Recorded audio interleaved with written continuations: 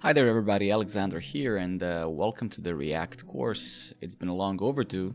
People have asked me for this course for a long time and uh, finally decided to start it. Uh, it's, as you know from many of my videos, it's not going to be a typical um, bottom-up uh, course uh, as most other courses are. They're basically a replication of official React documentation, which is by the way amazing and if you really want to learn React, that's also an alternative. Uh, the official documentations are generally the best source to learn.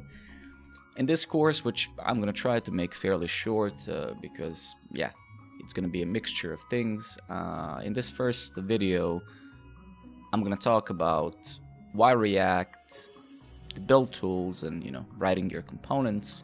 And then we're to break this in a couple of videos. I don't know how many so far, but uh, we're to talk in a, we're to have a video talking about the state separately. And then at the end of this uh, course, if you may, we're to build uh, some of uh, application where, uh, yeah, we handle the state, we render, we compose components, we call some services, uh, we implement Tailwind CSS. So we're to try to, yeah, get to the point of a modern React application. This is not going to be a Next.js course because I personally myself, I'm not a fan of, of Next.js myself, but uh, the course is going to teach you everything where, where you can just shift your React app to, to, to server-side rendering, right? So um, let's get started basically. So if I switch to my main screen, the main question is why React.js, right? And React.js still currently is by far the most popular uh, UI library.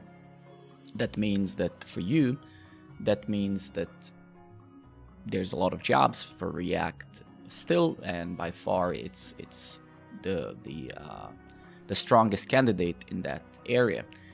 Uh, now, moving your personal preferences aside, what it is that you like, what it is that you dislike, at the end of the day, you want to get a job, and you should try to aim to learn things that can get you to that point. So, this is not to say now that React is better or worse than something else. There's some amazing libraries out there like Vue.js, AngularJS, framework, uh, Svelte is becoming popular as well. But when it comes to most recent polls that we have, we still don't have 2024 polls because we are relatively early in 2024. You can see the Stack Overflow uh, survey, which is the most um, accurate survey from all surveys, right? Uh, on the internet, uh, you can see that Node.js, React, and actually jQuery, which is understand understandable, jQuery is part of hundreds of millions of websites due to uh, WordPress and stuff like that, right? So you can see the popularity here. Vue.js and Angular are following up, and I, I Svelte is somewhere on the bottom. You can see Nest.js, which is a uh, is, is is quite quite down, etc., etc., etc. And you can see here Solid.js and some other things. So why React? Well, besides the fact that React is an amazing and a very simple library, and a maintained library and a library full of modules and support and stuff. You can practically find anything you imagine when it comes to React. It has a huge community support. Of course, as I said, if you want to find a job in the front-end development area, well, this guy is your best bet.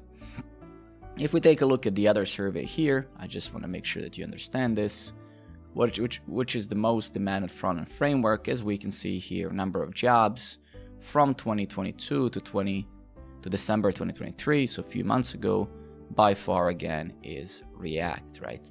So if this doesn't convince you uh, why you should learn React, then I mean you should stop watching this video right now and leave because you know you should be driven by logic, by business, by requirements, by needs, and the world and the currently community. Well, the community of developers seem to be wanting React. Is that going to change soon? I don't think so because React is also getting a React compiler in the version 19 coming up. And I think that's going to even incentivize more people who even maybe stopped using React at one point because of reasons like, you know, having hard time using effects and, you know, controlling re-rendering and stuff. I think that's going to make things even better. All right, so that's cool. So now we know um, why you should use React let's now talk about the build tools. So when you when you start uh, with any of these modern tools uh, and modern frameworks, you have to use the build tools. You have to take that framework or a library and transpile it, compile it, whatever, into the actual JavaScript. I'm going to give you a little history of the build tool so you can understand how it works. So maybe 10 or 15 years ago, we used tools like Grunt and Gulp. So when Angular 1 came out and Knockout, AG, Knockout JS and Ember JS, we used these task runners like Grunt and then Gulp. And basically these were the task runners where you say, do this thing, and then do this thing, and then do this thing, etc., etc., etc. So this is how we used to um, compile certain parts of libraries and code, as you can see here, handlebars, Jade, Sass. So basically, if you wanted to take some Sass or less and compile your CSS, compile it into CSS, you would use these tools, right?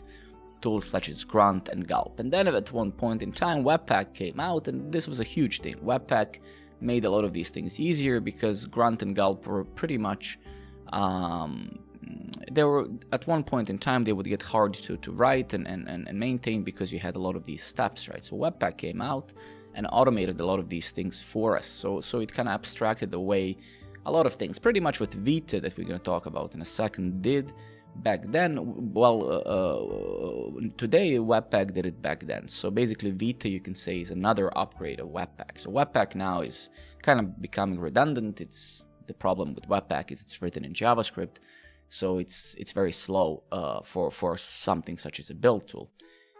And today we have a build tool called vita and this is how we build uh, modern um, libraries. I'm not sure if uh, if Vue, Vue.js and Angular are using Vita, but React.js most commonly today is started using the Vita. Vita basically, if I recall, is written in Rust and it's very fast and this is how we how you will typically start your React projects, right? So you're gonna use this build tool to convert this syntax that the browser doesn't under, doesn't understand into the actual JavaScript that the browser can in fact understand, right?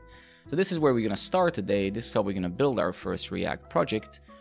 And then we're gonna move from there. Uh, so basically, I think this is it's better to start right away. So what we're gonna do, we're gonna click get started here. And then in the Vita documentation, right, you will and it's a it's a quite awesome documentation. I suggest that you bookmark this, create a React folder in your bookmarks, and as we go through this course, make sure to bookmark all of these uh, all of these uh, resources that I'm going to give you along the way, right? So if we scroll a little bit down, uh, you can see that Vita has templates. And what we're going to do, we're going to use this uh, TypeScript template for React. You can see they have SolidTS, Svelte, etc., etc. Preact, which is a minimal version of React in a way. Uh, and then we have React TS. So we're going to use uh, this React TS. As you can see, they have some commands. And basically what we have to do, we have to say, depending which package manager you're using, package manager, create Vita, name of your application, and which template you want to use. I'm using pnpm. Uh, just for a record, if you don't know, NPM is a package manager that comes installed with Node.js. Yarn used to be uh, an upgrade to NPM. When Yarn came out, it was faster and better. It's also getting obsolete. pnpm is a new king in the block. It's, it's a lot faster than the previous two. And then Bun.js is a JavaScript runtime that came out last year and it's also super fast but this is uh, you, you, need to install a different runtime. You need to install bun.js for that reason i'm going to be using pnpm and if you don't know how you can install pnpm by simply having making sure that you have a node.js installed and you can just say uh, npm i dash g pnpm this g stands for global and it means it's going to install this pnpm package manager uh, as a global. If you're having hard time spelling this, it's basically npm and then put a p in front of it. So if you're kind of getting confused, just type npm and then put a p in front of it. That's basically p npm, p npm, right?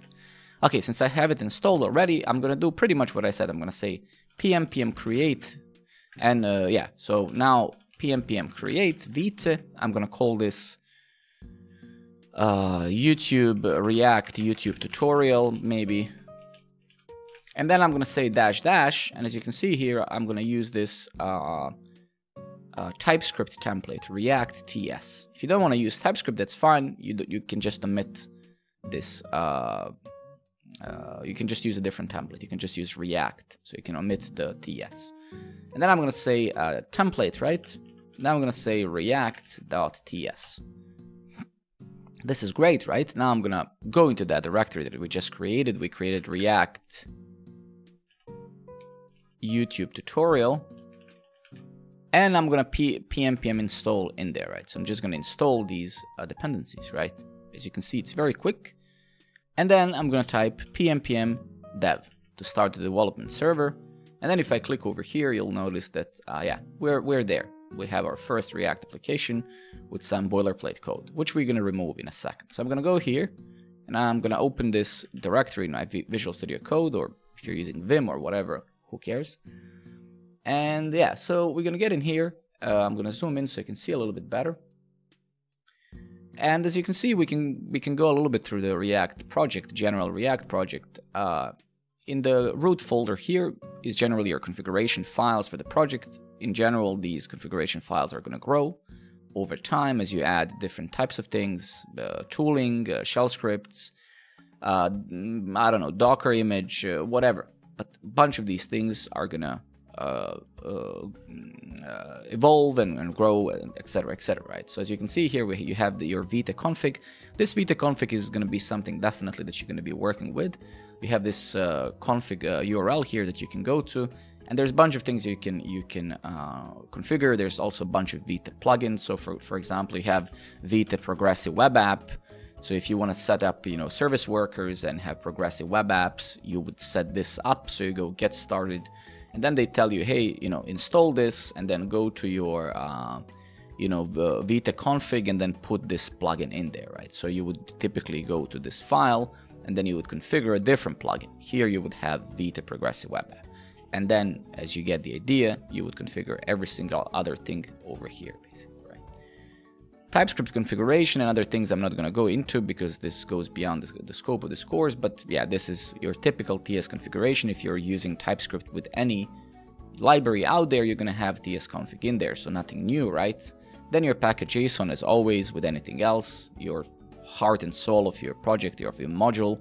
It defines the dependencies that you have, that your project must have. It has development dependencies where your project um, you know defines what it is that you need in development etc etc and then starting with index as with many other libraries we have a root index file.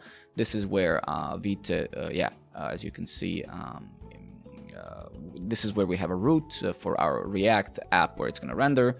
And then we uh, associate the, the main file that we're going to talk about now Okay, so before we start with the, with the, with going into React now and stuff, let's just remove some of the files that we don't need. So I'm gonna remove the CSS files. I'm gonna remove all of this stuff that we don't need. I'm gonna remove assets just so we can start very clean here. So I'm gonna nuke all of this. I'm gonna remove these uh, references to this. I'm gonna basically remove all of the stuff that came already, uh, all of this boilerplate that came with the app. So I'm just gonna get us to the state where it's clean. So we can then start. Okay. So this is now great. So this is now we are looking for the first time into learning React, right? So now you know some history, you know why you want to learn React and stuff. Let's now talk about, you know, learning React. So before we go there, let's talk a little bit about frontend, right? So frontend, what is a frontend development, right? Frontend development, right, is all about controlling some HTML, right? So if I go to this page and I inspect this uh, thing, right? We'll notice that there's a bunch of this HTML all over the place, right? And this is unif uniformal to, to every single library out there, right? So what our goal as front-end developers uh, is, is, hey, well, you know, I need, there's this huge tree of uh, elements, of uh, HTML elements, and all of them have a bunch of attributes and, and properties and stuff. How can I, you know, compose these things into smaller chunks so I can work with it easier. So this is really a gist of, of, of, building clients of any kind in the browser or not in the browser, right? It's like there's always this huge amount of content. How can we segregate that? How can we break it out into small, meaningful, reusable chunks so then we can build applications easier. We can write less code. We can, you know, apply the dry principle. Don't do not repeat yourself, etc., etc., etc. So how can we achieve that. And all of these UI libraries try to achieve the same thing. Some of them achieve certain things in, in, a, in this way, in that way, and then it boils down to preferences, what somebody likes more, right? But fundamentally, when it comes to React as well, it's no different than anything else. We're gonna have a bunch of different components, like think of these things as Lego, and uh, we're gonna be composing these components. So you're gonna have a button, and you're gonna have a you know a, a, an input, uh, and you're gonna have a drawer or whatever, right? And all of these things are gonna be your building blocks, right? And you're gonna be with all of these, you're gonna have your own library of components. Think of these as tools. Imagine you have a toolbox, and in that toolbox you have all of these different tools, and then you can you know build something with these tools, right? So in your case, the product of the of this component composition, as we like to call it, is some page, aka viewer, right? So we're gonna be combining these boxes with each other, uh, again called component composition, and the outcome of this composition is gonna be different pages, aka views, right? So this is really what a front end at the at the core is, and then of course it's about handling events. So the second most important thing about you know building any software is handling reacting to events. When I click on a button, do this. When I type this in an input, do this. When I hover my mouse over here, do this. When I click on a link, take me here or take me there. And then uh, uh, lastly and third, it's about business logic. You know, if user is not logged in, show this, otherwise show this. So we're going to have a lot of conditional rendering as we call it. We're going to loop through a lot of things. We're going to get some data from some server, and then we're going to show that on the on the page. So this all of this is uh, uniform and agnostic of technology. You do these things in every single tool, right? And this is what we're going to be doing today, right? If we take a look at the React components, which we're going to write now, you will notice that React components basically as any HTML elements, if we may, if I may, uh, you know, if we take an image tag in HTML, right? So if we say image and src, this is, we're still talking just about plain HTML, right? This is a native HTML component. We can call it like that. It's an image. It takes some attributes, some properties, right? Uh, it takes a src and it takes the text that describes what this image is, right? if we uh, if we create a, let's say a um, if we use a button component in uh, in HTML as well, we're still talking about HTML. If we take a native button component, right, this button is gonna take some content inside it, some sort of a children or whatever, some text. You know, uh, there's different terms that describe how this thing inside of the opening and closing HTML tags can be called in React, we would call this children, basically a child of a component that wraps it. You have, uh, uh, you know, UI libraries like Svelte.js and uh, Stencil.js. In Stencil, they call it slots. So this would be a slot, right? But the, the idea is always the same. So, right, so in React, it's going to be very similar, almost identical. In React, we're going to build our own button. It's just the components in React, gonna, eh, like in most other UI libraries, start with a capital letter. So this would be a, basically a replication of the button in React, and then this button we would implement its logic some to, to some degree, right? We would abstract the way we would wrap, we would probably wrap this button and add more functionality, right? So as you can see, uh, building components in any UI library doesn't really differ much uh, than building uh, than using native HTML elements, right? We're still going to be passing some attributes in React, we will call them properties, but fundamentally, it's really no different, right? So it's still going to be the same. Okay, with that said, let's now go to React and write some components, right? So as I said, um, as I said before, uh, uh, we, we will, yeah, explain the component concept and some. So we're going to have a, a, little bit of bottom-up approach, and then we're going to eventually build an app, right? Before we start writing our first component, let's let's take a look at the um, autonomy or, or, or let's take a look at the um, anatomy of uh, of React, right? So so as you can see, every React project is going to have a main file like this, and main file is going to have these some, these lines. This is the minimum, right? React strict mode. Uh, before I explain it, you can always hover over these things and go to the official documentation. But the strict mode in React basically enables us in development to do additional re-renders, to do some checks. So React if I say may say engine can give us some warnings and suggestions and errors. So if I hover over this, you can see uh, there's quite nice uh, JS docs here. So I can click React doc docs and open this. And as you can see, strict mode lets you find common bugs in your components early in the development. You can scroll a little bit down if you if you want to see what it, what it does and what it doesn't do. Right, there's a lot of stuff here, but fundamentally it is uh, basically uh, it's only enabled in development and it's going to do some additional re-renders and checks to ensure that you're following best practices in React. So that's fundamentally what it does. If you care to know more, and I don't think you do, you can always get here and, and read more. Then we have the app. This is generally a container component. Uh, this is, you're always going to have one of these components only, and this basically wraps your whole React application, right? React DOM create root, also very interesting to mention. As you can see here, we import this React DOM client um, library. So you, are probably wondering, what is this? Well, as you may know, or, or as may you have heard, React JS can be used in different with different runtimes. We can build, you know, React Native apps. We can use it uh, in the server side, like with uh, Next.js, or manually if you build your own rendering engine.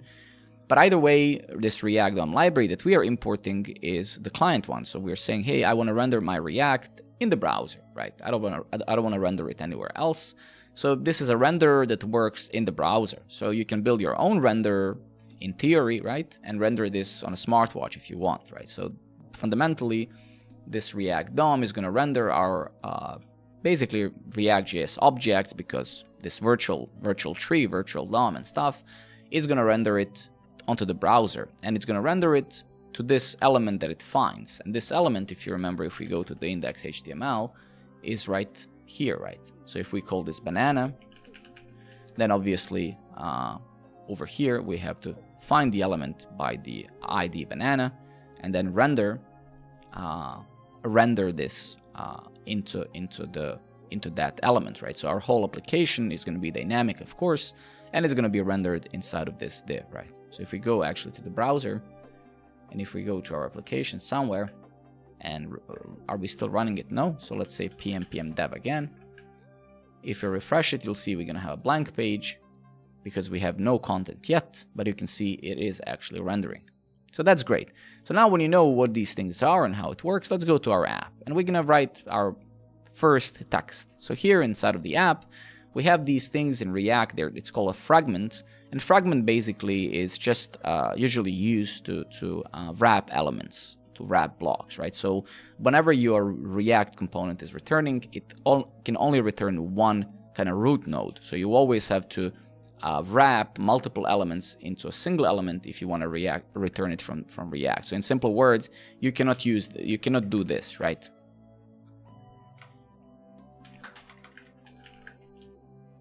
This is not going to work, right? You cannot you need to wrap. So if you have you have a paragraph here and a span, you can see if I hover over it, JSX expressions must have one parent element.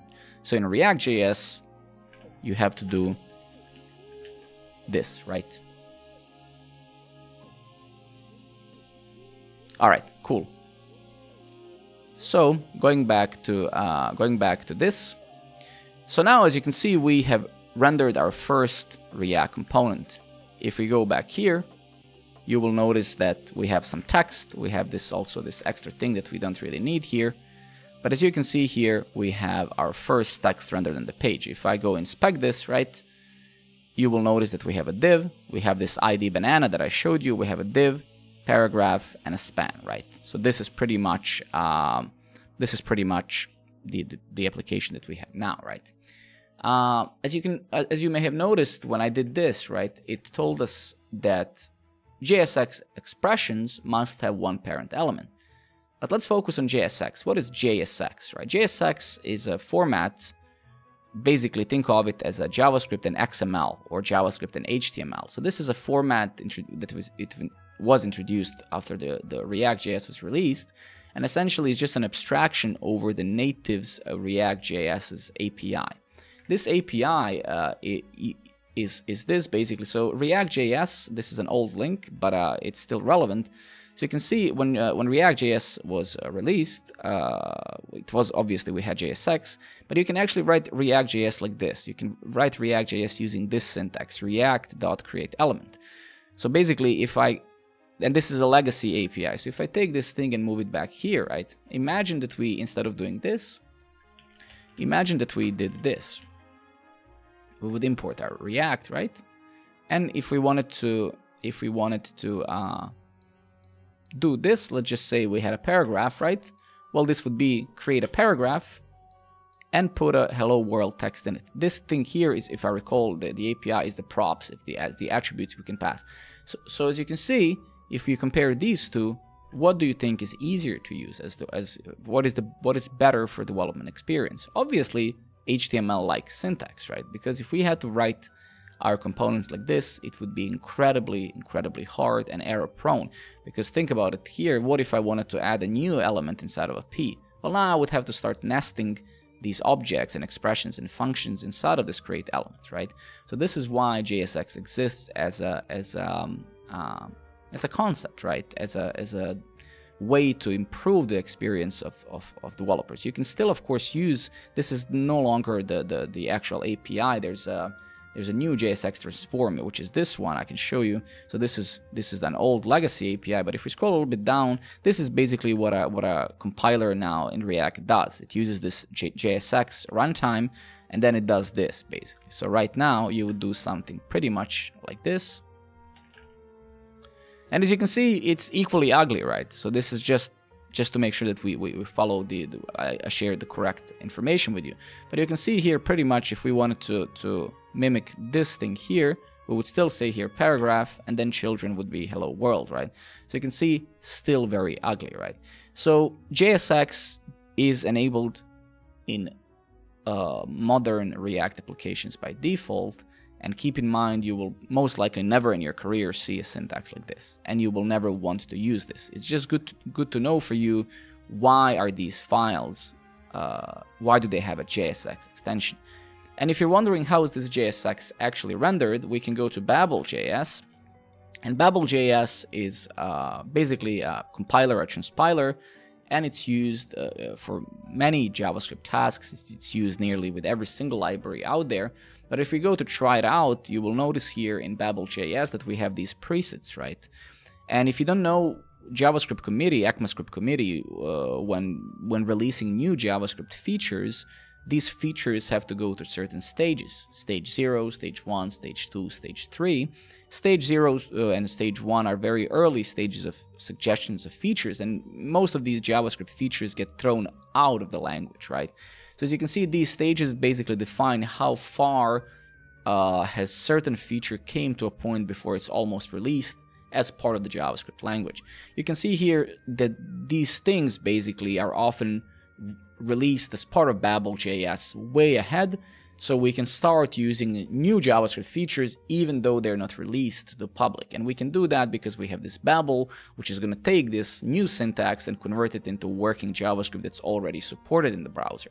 So with that said, you can see we also have React here, right? Uh, so Babel also supports React. So if we go ahead and try to paste some of this stuff over here, you will notice basically how this code is what it actually is when it's compiled. And you can see here if I function app return hello world, this is basically what gets created, right? So import JSX, function app, return, blah, blah, blah, right? So if I do a little bit more, you know, if I create a span in here, so if we do a little bit more uh, nesting of uh, these elements, right?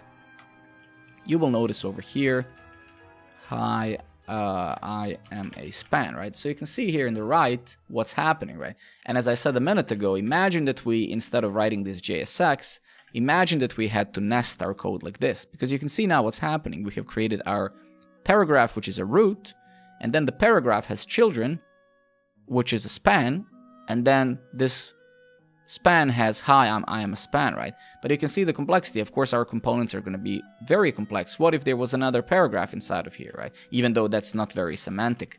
But the, the point is, you know, is mainly to, you know, I'm not a very sem semantic uh, paragraph, right? Well, now we have another level of nesting, right? So you can see if we get over here, children, children, children, right? So you can clearly notice that writing stuff like this and writing stuff like this is vastly different. This is way easier for us to reason about than reading this this gibberish, this uh, right, or writing it right. So again, you can literally instead of using JSX, you don't have to. You can you literally do this yourself. If you wanted to write React like this, you can. But again, if you if we apply some common sense, you'll notice why you don't want to do that, right? Okay, so this now basically um, this should get you to the point of understanding JS what JSX is. That is just a format that enables developers to be more productive, and this is what Babel.js does. So if you're ever wondering what the hell is actually happening behind the scenes, uh, or somebody asks you in an interview or whatever, you can always say, "All right, actually, I know Alex. Alex actually showed me how how to use JSX." Okay, with that said, now we're basically done with a lot of this uh, theory and stuff. Now we can actually build components, right? So let's. So as you can see, I'm now returning some uh, stuff directly from my application. Let's create a, actually a new component. And for the for the sake of this first video of this tutorial, I will basically just writing everything in a single file and then as we progress in time, I'm going to show you how to structure your React projects, what are the best practices and stuff. But for now, let's not increase the complexity and add, uh, you know, too much, too much in your brain, too many things to think about. We want to just focus now on components. So I'm going to go and create a component and I'm going to call this component a, uh, a button, for example, right? So I'm going to say, uh, you know, I can say uh, function button and uh, I can return literally just a plain HTML button. And what I'm gonna do, I will just come over here and I'm just gonna return a button, right? Like this. And if I go to my application, you will see that there's a plain HTML button, literally nothing special about it, it's a normal button. So I'm basically creating a button that returns an HTML, plain HTML button, right? But you can see that right now this button has a text here that I can't change. So uh, it would be nice if this button, right, can be reusable, like Lego, right? Like something that you can, you know, like a bottle. I can put milk in this bottle, I can put water, I can put tequila, whiskey, chocolate milk, whatever I want. It's a reusable, it has one function. This bottle, I use it for one thing, I use it to drink liquids, right? So this is how you should be thinking about designing your functions, your components. They should be doing one thing, right? Why? Because I can reuse them for various things and combine them with various things. So how can we now, you know, change this text to be something else? Well, we need to pass some attribute. Just as if you remember, just as you had an image in HTML, these are attributes, these are properties. In React, we call them properties, but they're really attribute, arguments, whatever you want to call them. As you can see, React uh, components are just plain functions, just normal functions, right? We can we can pass some uh, properties to this button, right? So I can either destructure in place if you know JavaScript, or I can just pass this props. Usually we call it props, and it's just an object. So every component in, in React.js takes literally uh, just an object that can have n number of properties on it. Uh, so here I'm gonna say, well, okay, well this thing I want to call. How do I want to call this property? I don't know. Maybe props dot text, right? And now I can pass some text here. So, so, but I, I, I can do it in a very in, in a slightly different way. So I'm very cautiously trying to explain this. So here now I can say text, and I can say uh, I'm uh, I can say I'm a very cool button, right? So if we go back here, it says I'm a very cool button. Now I have passed this text, right? And this is literally how you pass. Um, regular props to uh, to components in React. You just just as you did with plain HTML, you have a key, uh, a name of a property of an attribute, and then you pass it some string. But as you can see, something strange has happened here. Why are we passing text here? What if I wanted to pass another element in here? What if I wanted to pass anything really in here? What if I wanted this button to have other HTML elements, children, right? And that's that's where one exception comes in. In React, these props they can they can get the children prop. Like I said, in Stencil.js, you have slots. In other URL libraries, you, these names are called differently. But I don't really want my button to be like this. I want my button to look really like an HTML button, like this. It has an opening and closing tags, and then I can pass something to it like this, right? So you can see now my button is like has a self-closing tag instantly. So let's fix that. So I'm gonna still do this, do that, right? So how can I pass this thing now as a span or whatever to the button, right? So let's actually try to demonstrate that. So here I want to say, uh, you know, I want to pass a span and inside of there I want to say, hi, I'm a button passed as children. So if I get over here, we're not going to see that because we're still passing this wrong. But if I say props.children, now we can see that, right?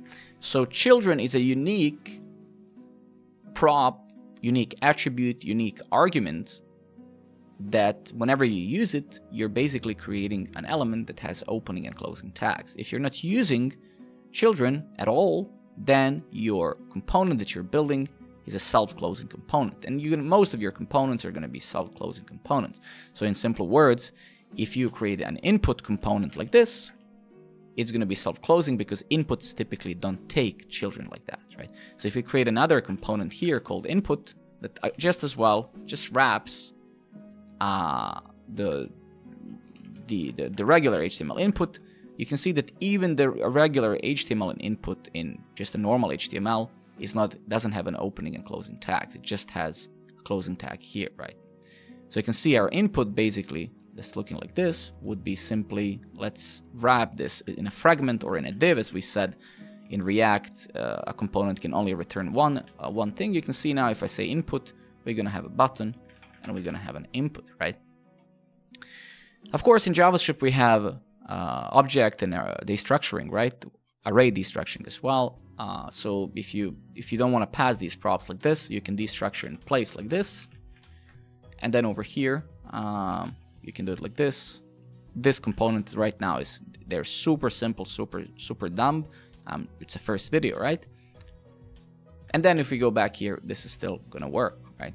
So that's pretty much all. As you can see, we're getting these warnings. Why? Because we're using TypeScript and we're not um, uh, adding our types, our annotations. So let's do that very quickly. You will notice that over time, as you learn React, React obviously, like all other libraries, all other frameworks, ha has its own types, you know, that come installed with TypeScript with a React. And as you can see, the children is of type React Node.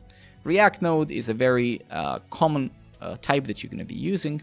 If we actually go here to React TypeScript cheat sheet, it's a super super nice resource.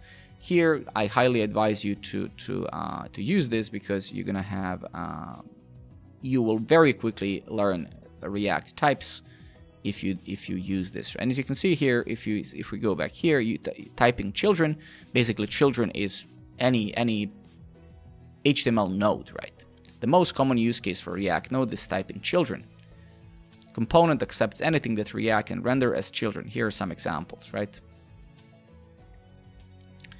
Okay, that's great. So now you can see we're adding some types.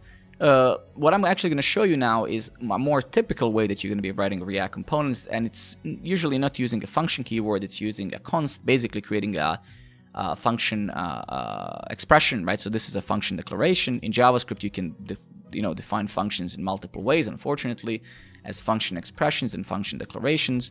So generally, the way that we write React components usually looks like this. So I'm going to comment this one out, and I'm just going to say, actually, I'm just going to copy and paste it and I'm gonna say const button. And then you're gonna do this. And then we're gonna do a lambda function right? And then we generally don't write the types here. We use this uh, fc uh, type which stands for functional component. And then we pass it a prop like this right? If we hover over this represents the type of a function component. Can optionally receive a type argument that represents the props the component receives, right? So it's a basically a generic, right? And if you, again, if you uh, need more examples, you can hover over down here. So this is amazing. A lot of people neglect this. It's super useful. You should use these, this IntelliSense and stuff because it can save you a lot of time. And if we get basically here, function components, these can be written as normal functions that take a props argument and return JSX element, right? So this is a more typical way you're going to be seeing components written because we in React, since uh, hooks came out, which we're going to talk in a separate video about, uh, since we dropped class uh, class-based components, we are basically writing these very simple functions that return uh, just some HTML or JSX that's then, as we saw, um, uh, compiled into these uh, lower-level React APIs and then later on compiled into whatever, right?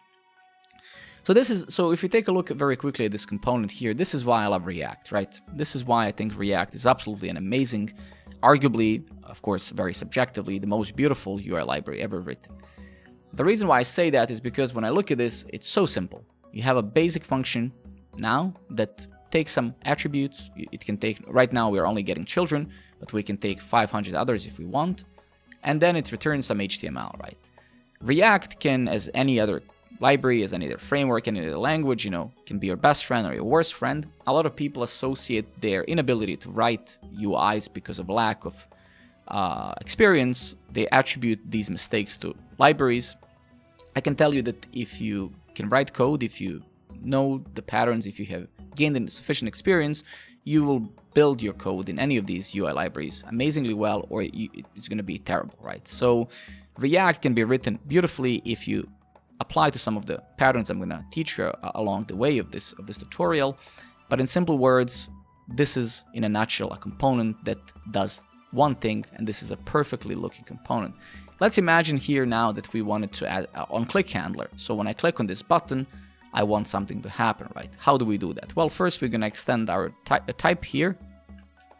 I'm going to add this on click. Question mark means it's an optional thing, so you can pass it if you want or you don't have to. And then here on the button, I'm simply going to pass here. I'm going to say on click. And then here I'm going to say on click, on click. Literally as easy as that. So now my button, here I can say on click, and when I click it, I'll do an alert.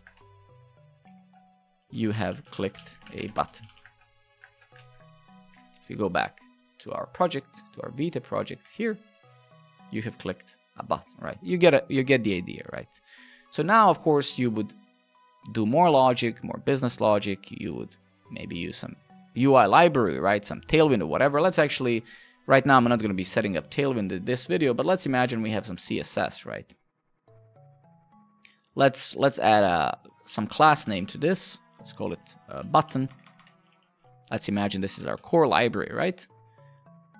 Here, over here, I'm gonna say button, and I'm gonna say appearance, none, whatever. Let's let's use some border none, border radius, color, whatever. And then we're gonna import our CSS in there, right? So I'm gonna say import and then dot slash style CSS. And now we have some different looking button. It's a pretty terrible button, but uh, we should probably add some padding as well. Let's say 8 pixels, right? And now we have a different looking button, right? There we go. So this is some CSS. Typically in, in modern development today, a lot of people love Tailwind CSS. I personally love it a lot, and I think we're gonna do that at one point as well. So what did we cover so far? We covered the component. We just said that it's a reusable unit of HTML eventually. We covered that there's this special case of children where whenever you use children, you're having a component that has opening and closing tags that where you can kind of nest other ch children, right? That's in, in most of these UI libraries and in HTML natively, there's always a parent to child relationship. This doesn't come from the modern libraries, it comes from just the HTML and the this huge HTML DOM tree, right? So if we take a look at this example here, when we're where we're using our button, you can say that the span is a child of a button. So this is a parent, this is a child, and then the parent of this whole thing is a div, right? And then the parent of a div would be a body or something else where it's wrapped, right? You can always see these things if we get over here. We have this div, which is also a child of banana, and banana is child of, of a body, and body is part of the HTML document, right? So it, that's literally how it works.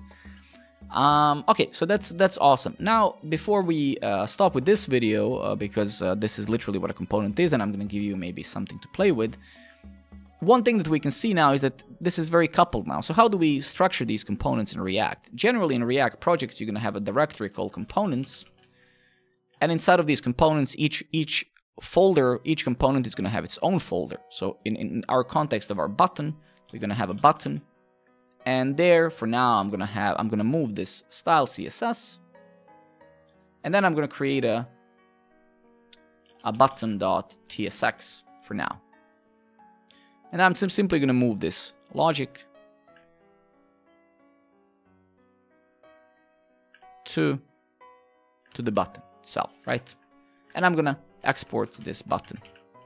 Now you can export button or any component, sorry, in two ways, either using a default export or just exporting it as a object property. Basically, I'm not going to get into details of this. This is not specific to React. You can do this uh, different teams use different styles, if I may. So there's no standard in React how you do this. So what I'm trying to say, you can either do export default here, or you can export your button like this, for example, right?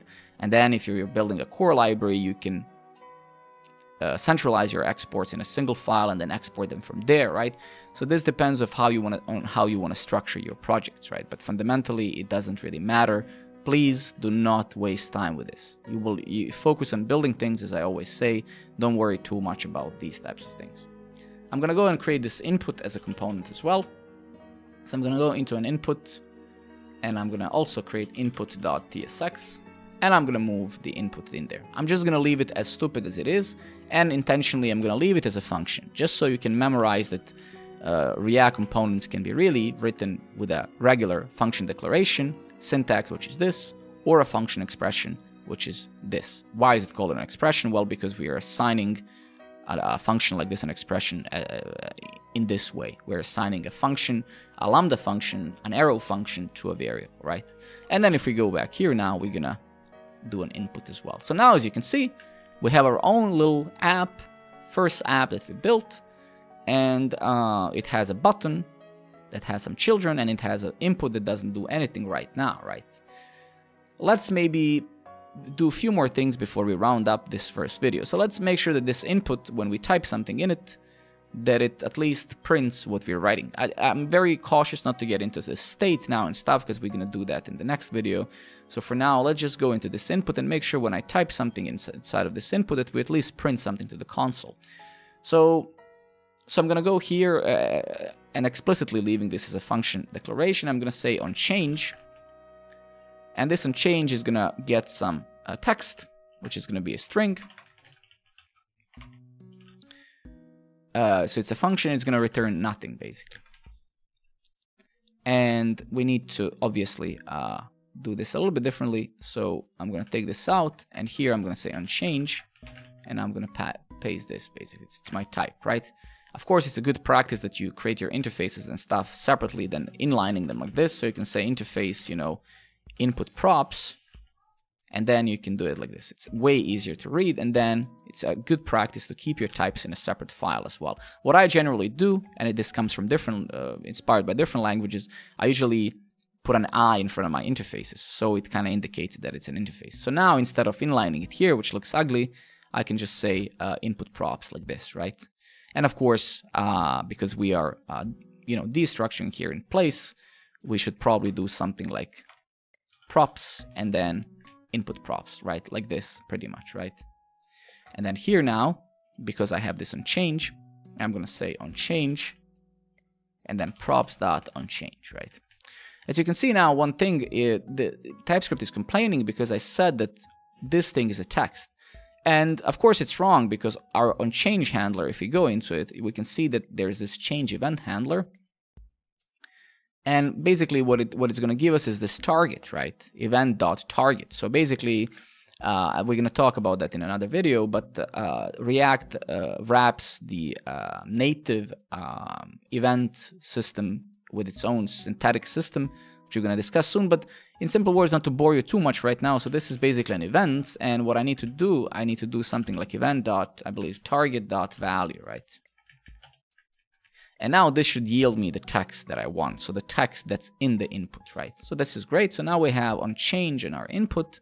And if we go back here, and as you can see, also it's a mandatory uh, attribute property. So it's saying, hey, you have input, but on change is missing, right? So here I'm going to say on change. And then whenever I type something, I will want to print this text, right? If we do that and save it, and we go back here, as I type, we should be seeing some text. And as you can see, we do see that text, right? So, la la la la la, right? So you get the idea, right? So now we have this text. So the next most common thing would be to learn about state. So, hey, okay, as I type this text, or as I press this button, how can I save the value of this input somewhere, right? So let's maybe leave that for, for a different video. So for now, what I want you to do as um, so for now, for now, what I want you to do is I want you to open create your Vite project like this, open a single app file as I did, and just build tiny components. What I also want you to do is uh, find a page that you like. So for example, if we go back here, go to, let's say, free templates CSS, whatever. Take a screenshot of something, right? For example, let's take a look at this. Yeah, let's, exactly, this is a great example. So take, a, take something like this, get it in your drawing tool like I do Draw.io, like this, and try to, in a single file, don't worry about breaking things down, don't worry about TypeScript, don't worry about anything. Try to break this down into different components. So if you use some logic, you will realize that this here, I don't know where I cannot change the color. No, I don't want to. But this thing in here, wait a minute, where is where can I change the color of this? Let's just use paint, it doesn't really matter. Uh, so this thing in here is one React component, right? So you want to start there. You want to build a component that takes a title as a prop, text as a prop, description, you have to name it, a date, and category, right? So you want to design now, so your first assignment should be, I need to design a component that takes a text, so it takes few properties and image, and then style this with, uh, with CSS. Do the same here. I have a component that's called sidebar or whatever. It has an image, description of the person, and whatever, right? So play with this in a single file, get a feeling of passing props, returning JSX, making few mistakes, adding basic CSS, right? And once you do that, you don't need state or any compl complex things for this. You don't need React router. You don't need uh, any complicated things. So this is what literally React is for. If you want to build this whole page, you can build it fully just with this plain React that we have here. You can build it in a single file here. Once you do that, at one point in time, you're going to say, huh, when I click on this, this thing needs to be red. When I click on this, I need to go to a different page. When I do this, this has to happen. This is when we need to start using state, potentially using the router so we can support multi-page, multi-view environment, etc., etc., etc. So basically, this marks the first video of my React series. What, what have we learned? We learned that React is highly popular, that there's a lot of jobs for it. We learned that React is, we learned some previous compilers, some tools that we used in a JavaScript landscape long ago, Grunt and Gulp and uh, Webpack. Now we're using uh, Vite as our bundler we learned about JSX and about it being uh, transpiled or compiled uh, using Babel into that JavaScript syntax, which then creates the virtual DOM that we're gonna also talk about at one point. Uh, and uh, yeah, we, we, we made some React components. So your assignment now is to find some template you like, build some React markup, and then in the next video we're gonna start with uh, some state and some more complicated subjects. If you like this video, please write a comment, share it, subscribe, and I'll see you in another one. Peace out, everybody. Cheers. Bye bye.